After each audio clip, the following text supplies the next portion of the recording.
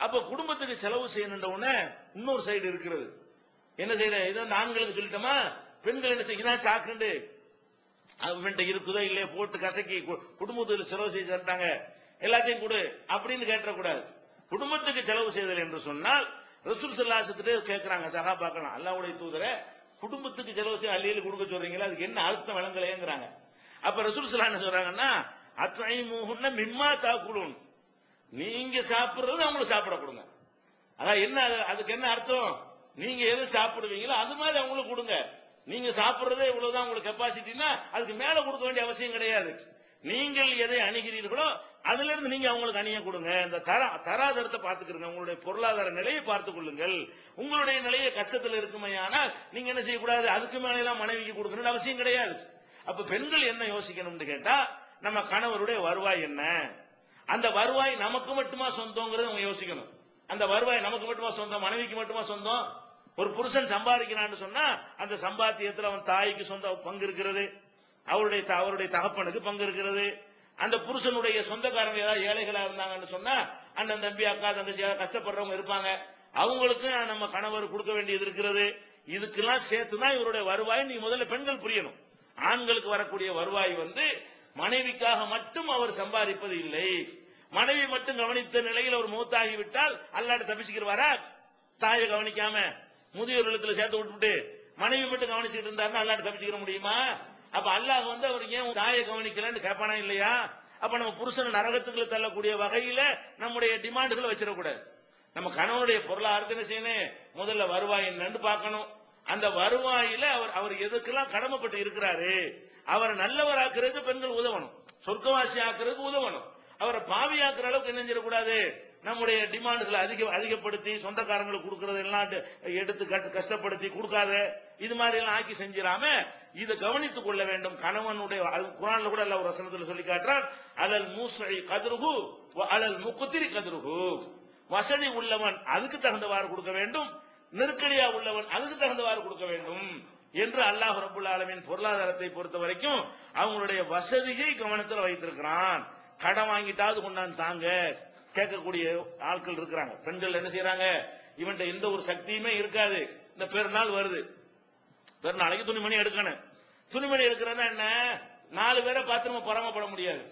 நம்ம புருஷனுடைய தகுதி என்னவோ அதுக்கு தான் ஆசைப்படணும். பக்கத்து வீட்டுல வந்து இருபதாயிரம் ரூபாய்க்கு பட்டுப்புடம் எடுத்துட்டாங்க. அது மாதிரி எனக்கு எடுத்தாண்டு எல்லாரும் கேட்க முடியாது.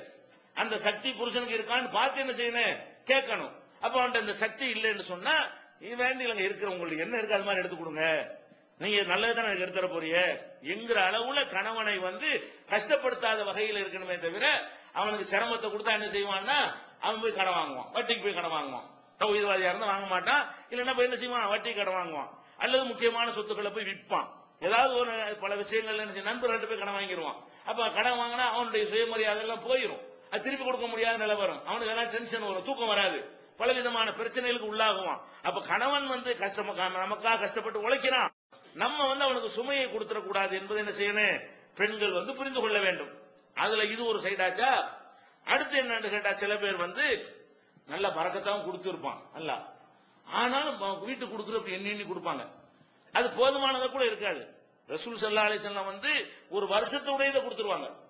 ரசூல் சல்லாசத்துக்கு என்னன்னா வருஷ வருமானம் ஒன்று ஒரு ஒரு தோட்டம் ஒன்று அந்த பதக்குங்கிற ஏரியாவில் அவங்களுக்கு ஒரு பெரிய தோட்டம் ஒன்று கிடைச்சது. அது போர்க்களத்தில் வர்றவங்களுக்கு பங்கிட்டு கொடுப்பாங்கல்ல. அதுல இருந்து வரக்கூடிய வருமானம் வரும். அது என்ன செய்வாங்க? ஒரு வருஷ தேவைக்கு உள்ளது எல்லாத்தையும் கொடுத்துருவாங்க. அதுக்கப்புறம் அந்த பெண்கள் தான் நிர்வகிச்சுக்கிறாங்க எல்லாத்தையுமே. வருஷ வருஷம் தான் அந்த பேரச்சம்பளம் மகசூல் உற்பத்தி ஆகும் இல்லையா? உற்பத்தி ஆகி வர்ற வருமானத்தை வருஷத்துக்கு ஒருக்கா பிரிச்சு கொடுத்தரோட சரி. மாசம் மாசம் அதை டென்ஷன் பண்ணிக்கிற மாட்டாங்க. அப்படியெல்லாம் மாசத்துக்கு தேவையானதை வருஷத்துக்கு தேவையானதை மனைவிகள்கிட்ட கொடுத்து நிர்வாகம் பண்ணக்கூடியதும் ஒரு முறை. ரசூல் செல்லாசன் அப்படிதான் பண்ண அன்றாட சாப்பாட்டுக்கு போய் ரசூல்லா போய் கேட்க மாட்டாங்க. இன்னைக்கு சாப்பாட்டுக்கு அரிசிக்கு காசுத்தாங்க உங்க குழம்பு காசுத்தாங்கன்ட்டு சில ஆளுக்கு அப்படி இருக்கிறாங்க. அன்னைக்கு உள்ளது அன்னைக்கு போய் ஒன்னு கேட்கணும். பெண்கள் என்ன செய்யணும்? அரிசிக்கு தனியா கொடுப்பாரு எத்தனை கிலோ அரிசி ஒரு கிலோ நேத்து ஒரு கிலோ வாங்கினீங்க கால் கிலோ மிச்சம் இருக்குமே. இப்படி கேட்கறாங்க இருக்கு. நேத்தான ஒரு கிலோ வாங்கினேன் அப்ப முக்கால் கிலோ வாங்கினா போதும்ல. என்றெல்லாம் சொல்லக்கூடிய அளவுகள் என்ன இருக்கிறாங்க? இப்படி எல்லாம் ரொம்ப பிடிச்சி புடிச்சு பிடிச்சி செலவழிக்கக்கூடியவர்கள் இருக்கிறாங்க. இது வந்து ஒரு குடும்பத்துக்கு இல்லாட்டி ஒன்று இல்லாட்டி பரவாயில்ல. அதான் உன்னுடைய தன்மை உன் தகுதி அதுவா இருந்துச்சுன்னா அப்படி இருக்கலாம் தப்பு கிடையாது. தகுதி எல்லாம் நல்லா தந்திருக்கும் போது இப்படி கொடுக்கறதுனால ஒண்ணு வராதுன்னு வந்தா மொத்தமா கொடுத்துட்டு அவங்க கைய கைய கைய கட்டிக்கிட்டு சேர்க்கட்டுமா உனக்கு என்ன? சேர்த்தானுக்கு என்ன? ரெண்டாயிரம் ரூபாய் மூவாயிரம் ரூபாய் செலவு ஐயாயிரம் ரூபாய் கையில கொடுக்க வேண்டியதானே மிச்சப்படுத்தி அவங்க வச்சுக்கிட்டு இருப்பாங்க. வேற ஒண்ணும் செஞ்சிட மாட்டாங்க. உனக்கு தான் அது உதவ போகுது. உங்களுடைய பிள்ளை குட்டிகளுக்கு தான் அவங்க தரப்போறாங்க உங்களுக்கு ஒரு நெருக்கடி வரும்போது உங்களுக்கு அந்த பணத்தை தருவாங்க. அதனால நீங்க என்ன கூடாது மனைவிட்ட கொண்டு இந்த பொருளாதாரத்தை கொடுத்துடக்கூடாது. அப்படி நினைச்சிடக்கூடாது அப்படி நடந்தால் உங்களுக்கு தேவையை நான் தரலன்னு சொன்னா பொம்பளைகளுக்கு ஒரு உரிமை இஸ்லாம் கொடுத்துருக்கு. புருஷன் வந்து நல்லா வரக்கத்தா இருக்குது. ஆயிரம் ரூபாய் தேவை. ஆயிரம் ரூபாய்க்கு ஐநூறு ரூபாய் தர்றான் அப்படின்னு சொன்னா தெரியாம எடுத்துக்கலாமா? எது? ரசூசல்லாசலம் சொல்றாங்க கணவனுடைய காசை வந்து தேவைக்கு நியாயமாக எடுத்துக்கொள்வது வந்து மார்க்கத்துல ஹரா- அது திருட்டுல வராது. அது பாவத்துல அல்லாவும் கேள்வி கேட்க மாட்டான் கோர்ட்ல கேஸ் போட்டாலும் இஸ்லாமிய அரசாங்கத்துல கேஸ் போட இயலாது. ஏன்? நபிகள் நாயகம் ஸல்லல்லாஹு அலைஹி அவங்கள்ட்ட வந்து ஹிந்து அவங்க வர்றாங்க. ஹிந்துனா யாரு? ஹிந்தாம்பாங்கல்ல ஹிந்தா இல்ல பேரு. ஹிந்து தான் அவங்க பேரு. அந்த அபு சுஃபியானுடைய மனைவி மாவியா இருந்தாங்க இல்லையா? அவங்களுடைய தாயார் ஹிந்து அவங்க. அவங்க வந்து ரசூல்லாட்ட வந்து கணவரை பத்தி பின்னாடி இஸ்லாத்துக்கு வந்துட்டாங்க. ஹிந்து இஸ்லாத்துக்கு வந்துட்டாங்க. கணவர் அபு சுஃபியானு இஸ்லாத்துக்கு வந்துட்டாங்க. அப்ப ரசூல்லாட்ட வர்றாங்க. வந்து என்ன செய்யறாங்கன்னா இன்ன அபா சுஃபியான ரஜுலுன் சஹீஹுன். அபு சுஃபியான் புருஷன் பேர் சொல்லி தான் சொல்றாங்க. வழங்குதா? இப்போ என்னுடைய கணவர் அபு சுபியான் இருக்காரு. அவர் ரொம்ப கஞ்சத்தனமான ஒரு ஆளா இருக்காரு. ரசூல்லாட்ட வந்து கணவரை பற்றி அந்த அம்மா வந்து கம்ப்ளைண்ட் பண்றாங்க. அப்ப என்ன கேட்கிறாங்கன்னா ஹல் அலைய ஜுனாகும் அன் ஆகுத மின்மாளிகி சிறன் அவர்கிட்ட தெரியாம நான் அவருடைய காசை எடுத்துக்கொள்வது எனக்கு கூடுமா? அவர் நிறைய காசுலாம் வச்சிருக்கிறாரு. ஆனா தரமாட்டேங்கிறாரு. தேவைக்கு தரமாட்டேங்கிறாரு. தெரியாம எடுத்துக்கலாமா? கேட்கிறாங்க அப்ப ரசூல் சொன்னாங்க குதி அன்டி ஓ பனு மா எக்ஃபீக்கு பில் மாரூஃப் நீனும் உன் பிள்ளைகளும் உங்களுக்கு எவ்வளவு நியாயமா தேவையோ நியாயம்னா ரெண்டு பக்கத்து எல்லாத்தையும் கவனிச்சு. முதல்ல உனக்கு தேவையா இருக்கணும் ரெண்டாவது அவரை பாதிக்காத அளவு இருக்கணும் இதெல்லாம் நியாயத்தில் அடங்கிடும் நியாயமான முறையில் உனக்கு எவ்வளவு தேவையோ அதை எடுத்துக்கொள். அது தப்பு கிடையாதுங்கிறாங்க. இது வந்து புகாரில ரெண்டாயிரத்தி இருநூத்தி பதினொன்னு ரெண்டாயிரத்தி நானூத்தி அறுபது ஐயாயிரத்தி முன்னூத்தி ஐம்பத்தி ஒன்பது ஐயாயிரத்தி முன்னூத்தி அறுபத்தி நாலு ஆறாயிரத்தி அறுநூத்தி நாற்பது இன்னும் நிறைய இடங்கள்ல இருக்கிறது அப்ப இதுல என்ன வழங்குறது வீட்டு தேவைகளுக்கு கணவர் போதுமானது கொடுக்கல என்று சொன்னால் அவர் வைத்திருப்பதை நம்ம என்ன செய்யலாம் மனைவிமார்கள் அவ்வளவு உரிமை சிலாத்துல இப்பயும் வேலைக்கு போறீங்க?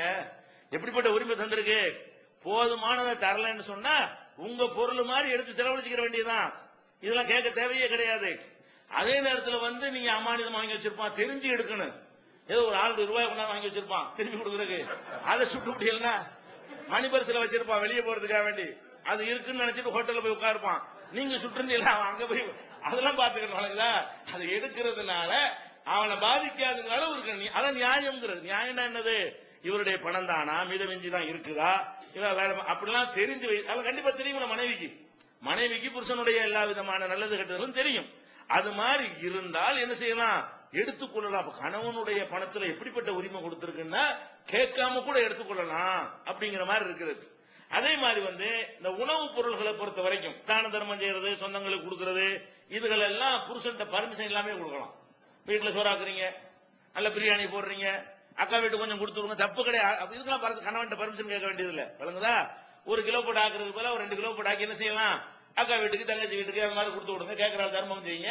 இதெல்லாம் கணவன் கேட்கவே வேண்டியது இல்ல கேட்காம நீங்க செஞ்சா அதுக்கு தர்மம் கூலி இருக்குங்கிறாங்க ரசூசல்லாசனம் கணவருடைய உணவுப் பொருளுக்கு தான் இதுக்கா இது.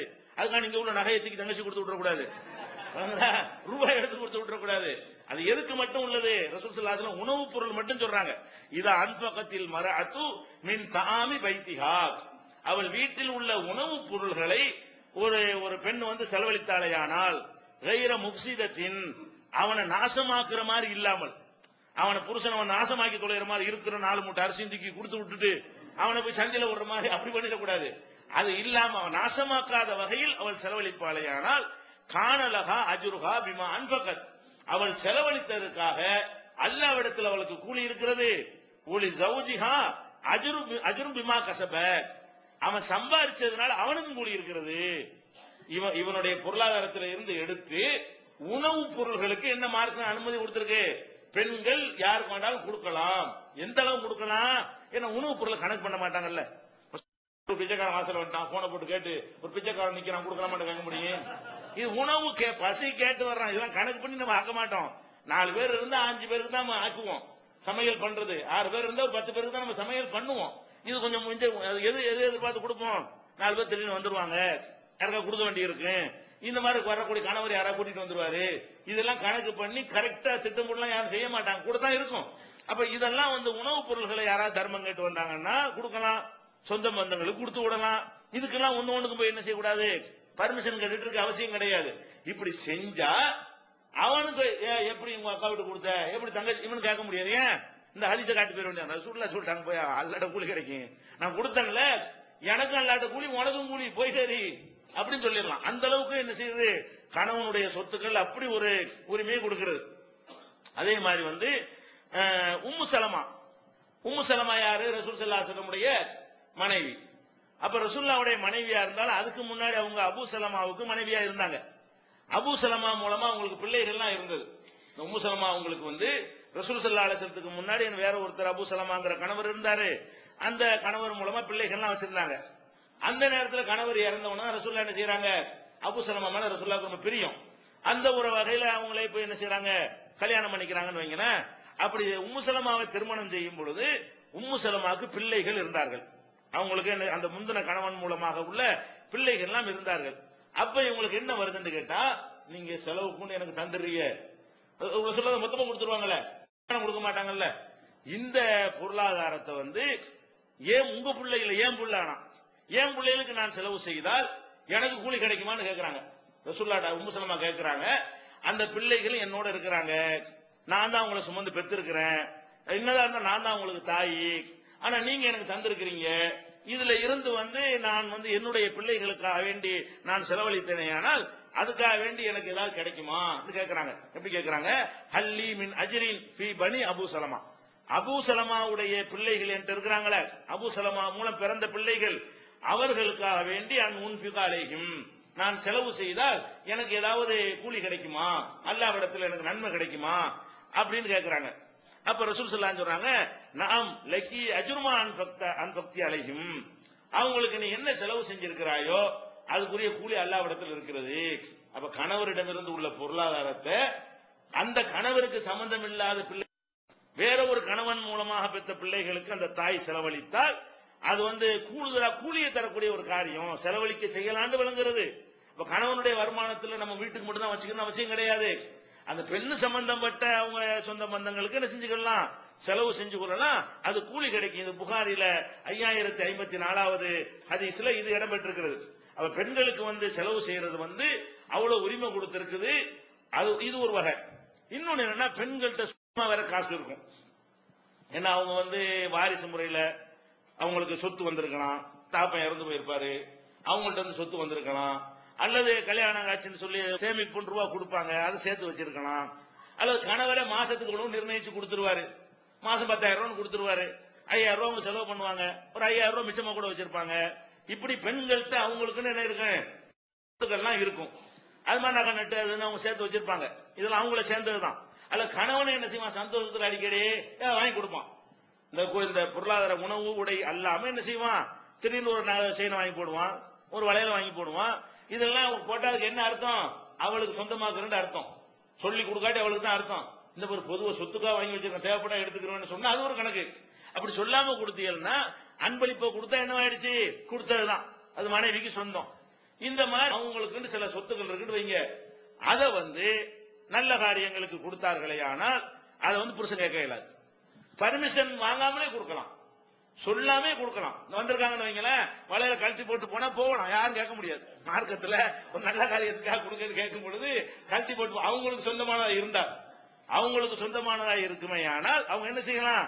இத வந்து கணவன்கிட்ட பர்மிஷன் கூட கேட்க வேண்டியது இல்லை. ஏன்னா கணவனுடையது இல்லை அவங்களுடைய அவங்களுடையது தானே பெண்ணுடைய ஆணுடைய பொருளாதாரத்தை பொறுத்த வரைக்கும் கேட்காம எடுத்துக்கலான்னு உரிமையை கொடுக்குது. பெண்ணுடைய பொருளாதாரமா இருந்த நிறைய பேருக்கு இது வைத்த கலக்குறீங்க. மனைவிமார்களை கூட்டிட்டு வந்திருப்பாங்கல்ல அவங்களுக்கு சரியில்லை. அஹ். அது என்னன்னு கேட்டா நபிகள் நாயகம் ஸல்லல்லாஹு செல்லம் காலத்துல பெண்கள் பெருநா தொலைக்கு வருவாங்க. வரணும் கண்டிப்பா. கட்டாயமா என்ன செய்யணும் பெண்கள்லாம் பெருநா துளைக்கு வரணுங்கிறதுக்காக தான் திடல்ல கொண்டே வச்சாங்க. அதுல கூட அந்த மாதவிடாய் பெண்கள்லாம் கூட அதுல கலந்து கொள்ளணுங்கிறதுக்காக தான் பள்ளிவாசல்ல வைக்கல. வெளியில இருந்தா அந்த தொழுகை நேரத்தில் ஒதுங்கி கொண்டு மத்த நேரத்துல எல்லாரையும் போல அவங்களும் சந்தோஷமா இருக்கணும் என்பதற்காக வேண்டி இப்படி கட்டளை இட்டாங்க அப்போ ஒரு பெருநாள் அன்னைக்கு வரும்பொழுது மக்கள் பயங்கரமான கூட்டம். நபிகள் நாயகம் சல்லா அலி செல்லம் அவர்கள் குத்துபா உரை நிகழ்த்துகிறார்கள். அந்த உரை வந்து இப்ப மைக்கெல்லாம் அந்த காலத்துல இல்லை இல்லையா? அந்த கடைசி வரைக்கும் எட்டல. ஆண்கள் அளவுக்கு தான் அந்த உரை கேட்கு கேட்குதே தவிர பெண்கள் பகுதிக்கு என்ன செய்யல? அவங்க பேசின பேச்சு எட்டல. அது அவங்களுக்கு தெரியும் கூட்டத்தை பார்த்து நம்மள விளங்கிக்கிறோம்ல. கூட்டத்தை பார்த்து என்ன செய்யும்? இந்த பேச்சு வந்து இவ்வளவு தூரத்துக்கு தான் எடுக்கும் என்று நம்ம விளங்கிக்கிறோம். அப்ப ரசூல் சல்லாசன் வழங்கி கொண்டு என்ன செய்யறாங்க ஆகா நம்ம சொன்ன உரை வந்து ஆண்கள் அளவுக்கு தானே போயிருக்குது. பெண்கள் பகுதிக்கு உன்னை எட்டலைன்னு சொல்லிட்டு உரையை முடிச்சிட்டு என்ன செய்யறாங்க வேகமா பெண்கள் பகுதி கிட்ட போறாங்க. அங்க ஒரு உரை நிகழ்த்துறதுக்காக வேண்டி. ஒரு பெருநாள் தினத்துல உள்ள அந்த பயானம் உங்களுக்கு கேட்கல. நல்ல செய்திகள் ஆம்பளை எல்லாம் கேட்டாங்க. பெண்கள் கேட்காம இருக்கேன்னு போய் அங்க போய் என்ன செய்யறாங்க ஒரு உரையை வந்து நிகழ்த்துறாங்க. பெருநாளைக்காக வேண்டி இன்னொரு குத்பா நிகழ்த்துறாங்க. அப்ப அந்த உரையை நிகழ்த்தும் போது என்ன பண்றாங்க? நிறைய விஷயங்கள்லாம் சொல்லி அவங்களுக்கு டாபிக் வந்து தர்மம்னு எடுத்துக்கிட்டாங்க. ஆம்பளைகளுக்கு என்ன டாபிக் சொன்னாங்கன்னு சொல்லப்படல.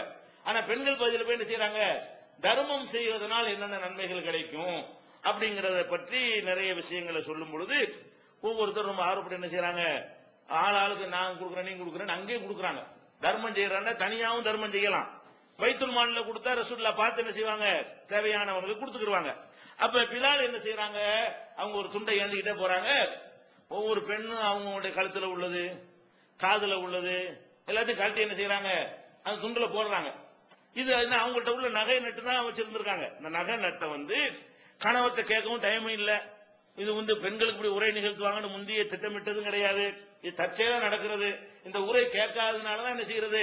அங்க கிட்டயே போறாங்க. அப்ப முன்னாடியே பர்மிஷன் கேட்டுக்கும் வாய்ப்பு இல்ல முன்னாடி இப்படி ரசூல்லா கேட்பாங்க நம்ம கொடுக்கலாமா? அப்படின்னு மசூரா பண்ணிட்டு வந்திருக்க முடியாது. அப்ப திடீர்னு அந்த இடத்துல உரை நிகழ்த்துறாங்க.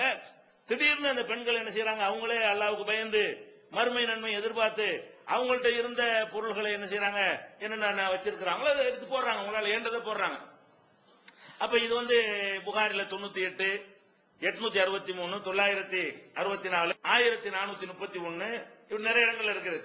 அப்ப இந்த ஹரிசில் நம்ம என்ன வழங்குறோம்? பெண்கள் தங்களுக்கு சொந்தமான பொருளாதாரத்தை வந்து தங்களுக்கு சொந்தம்னா புருஷன் இருந்து கூட கிடைச்சிருக்கலாம். அவங்களுக்கு சொந்தம் ஆக்கியிருப்பான். அது அவங்க பொருளாதாரம் தான். அது புருஷன் இருந்து வந்த பொருளாதாரமா இருந்தாலும் சரி தகப்பன் இருந்து வந்த பொருளாதாரமா இருந்தாலும் சரி அவங்களே சில சம்பாத்தியத்துல ஈடுபட்டு வீட்டு வேலைகள் ஏதாவது செஞ்சு சம்பாதிச்சு வச்சிருந்தாலும் சரி பெண்களுடைய பொருளாதாரத்துக்கு யார் சொந்தக்காரங்க? பெண்கள் தான் சொந்தக்காரங்க. ஆணுடைய பொருளாதாரத்துக்கு ஆண் சொந்தக்காரன் ஆவல பாருங்க. இப்படி இப்படி சுதந்திரம் பத்தியெல்லாம் நம்ம பொருளாதாரத்தை வந்து தேவைப்பட்டா எடுத்துக்கலாமா? அப்படி எல்லாம் கொடுத்துப்புட்டு பெண்களுக்கு என்ன பண்ணிவிட்டான் பெண்களுடைய பொருளாதாரத்துக்கு பெண்களே சொந்தக்காரங்க. அவங்க நினைச்சா என்ன செய்யலாம்? கணவனுக்கு சொல்லாம கூட அனுமதி வாங்காம கூட நல்ல காரியங்களுக்கு தங்களுடைய பொருளாதாரத்தை செலவு செய்து கொள்ளலாம். இதெல்லாம் கேட்க வேண்டியது இல்லை என்று சொல்லியிருக்கு. அதே மாதிரி அல்லாஹ் கூட குரான்ல நாலு முப்பத்தி ரெண்டுல சொல்லி காட்டுகிறான் லிர்ரிஜாலி நசீபுன் மிம்மக்தசபு ஒலின்னிசாயி நசீபுன் மிம்மக்தசபுன. பெண்கள் சம்பாதிச்சது பெண்களுக்கு உரியது ஆண்கள் சம்பாதிச்சது ஆண்களுக்கு உரியது என்றும் அல்லாஹ் திருமறை குரான்ல சொல்லி காட்டுகிறான். அப்ப இதெல்லாம் வச்சு இந்த பெண்களுக்கு வந்து பொருளாதார சுதந்திரம் வந்து இஸ்லாத்துல கொடுக்கப்பட்ட அளவுக்கு யாருக்குமே எங்கேயுமே கொடுக்கிறார் வேற வேற சமுதாயங்கள்ல பெண்கள் பேர்ல சொத்தை வச்சுக்கிற கூடாது. வேற வேற சமுதாயங்கள்ல எடுத்து பாத்தீங்கன்னா சொத்து யார் பேர்ல இருக்கக்கூடாது பொம்பளை பேர்ல சொத்தை இருக்கக்கூடாது ஒண்ணு புருஷனை சார்ந்திருக்கணும் புருஷன் இல்லாட்டி தாப்பனை சார்ந்து இருக்கணும் இதான் பெண்களுடைய தலைவிதி என்று வைத்திருந்தார்கள். இஸ்லாம் அந்த காலத்துல என்ன பண்ணிருச்சு? சொத்து புற மகருங்கிற பேர்ல சொத்து நகை நட்டுங்கிற பேர்ல சொத்து வீடு வாசல் சொத்து சோமலம் அவங்க பேர்ல வச்சுக்கலாம் இந்த மாதிரி ஒரு பொருளாதார சுதந்திரத்தை இஸ்லாம் கொடுத்து அவங்க வேலைக்கு போக தேவை இல்லாமலே நல்லா இருக்கும் ஆம்பளைக்கு தான் கஷ்டமே தவிர பொம்பளைகளுக்கு என்ன இருக்கு? பொருளாதாரத்துல ரொம்ப தன்னிறை பெற்றவர்களாக நினைத்தால் இருக்க முடியும். ஆண்களும் மார்க்கத்தை பேணி பெண்களும் மார்க்கத்தை பேணினார்களே ஆனால் பெண்களுக்கு அந்த மாதிரியான பிரச்சனை இருக்காது.